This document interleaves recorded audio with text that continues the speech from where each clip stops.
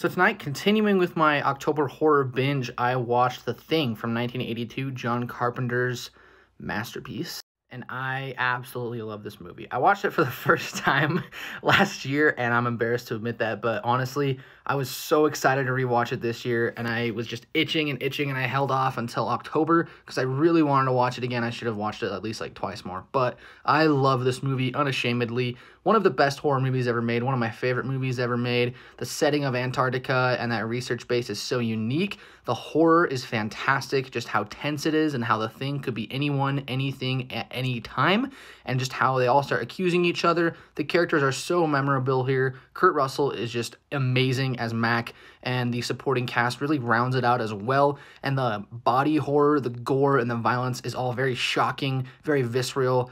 And the blood test scene is one of my favorite horror movie scenes of all time. Mac is the GOAT.